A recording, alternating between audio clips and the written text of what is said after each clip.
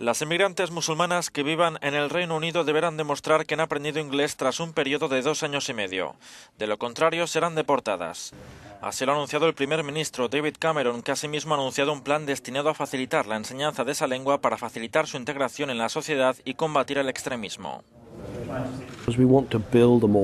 Queremos construir una sociedad más integrada, cohesionada, donde todo el mundo pueda aprovechar su talento al máximo.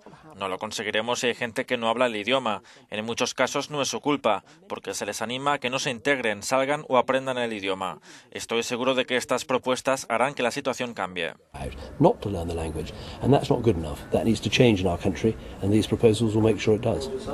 La medida para la que existe un fondo de 26 millones de euros se aplicará a partir del próximo octubre.